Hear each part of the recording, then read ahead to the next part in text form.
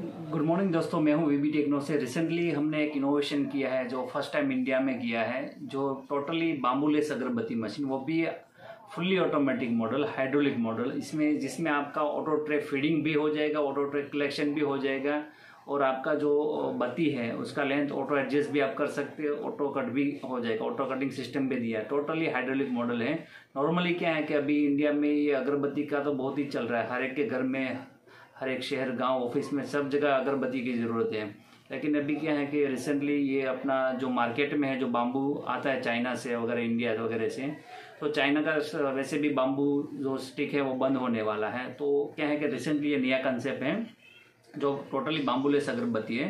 अभी रिसेंटली जो इम्पोर्टेड से जो वियतनाम के मशीन है या मेड इन इंडिया है, उसमें भी क्या होता है कि बाम्बू स्टिक फंसने का वो सब प्रॉब्लम है। इसमें वो कुछ भी झंझट नहीं है, ना तो आपको कुछ बाम्बू की ज़रूरत नहीं टोटली बाम्बूलेस अगरबत्ती आपका बन जाएगा। वो भी बहुत ही शानदार फिनिशिंग में नॉर्मली क्या रहता है कि देखिए, ये जो अगरबत्ती बनती है, जो भी मार्केट में अवेलेबल है, उसमें क्या है कि बाम्बू का स्टिक जो है वो रहता है। ठीक है? तो इसमें है कि वो बिना स्टिक के पूरा मशीन विदाउट बाम्बूलेस हमने अगरबत्ती बनाया, वो कैसा रहता है ना, वो सैंपल में दिखाता हूँ आपको। ये देखिए टोटली इसमें है ना नॉर्मली इसमें बाम्बू है। ये नज़दीक से आपको दिखेगा तो इसमें ये बाम्बू ही नहीं है। टोटली बाम्बूलेस है। तो दोनों मॉडल हमारे पास अवेलेबल हैं। बाम्बू लेस अगरबत्ती में नैनो मॉडल भी है और हाइड्रोलिक मॉडल भी है, जिसमें कुछ करने की ज़रूरत नहीं, ऑटो ट्रे रख दो अपना, ऑटो ट्रे फीडिंग होता रहेगा, ऑटो ट्रे कलेक्ट भी हो जाएगा।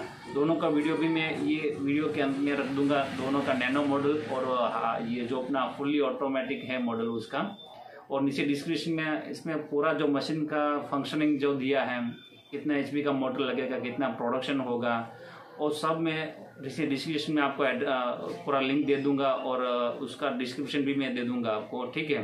तो पूरा वीडियो है और मार्केट में इसका डिमांड रहेगा और लाइफ टाइम रहेगा, क्योंकि रिसेंटली अभी बाम्बुलेस जो अगरबत्ती है, नया ट्रेंड है मार्केट में और इंडिया में भी। और दूसरा क्या है कि चाइना से पूरा बाम्बू जो स्टिक आता था, वो भी बैंड हो गया है गवर्नमेंट ने बैंड कर दिया है।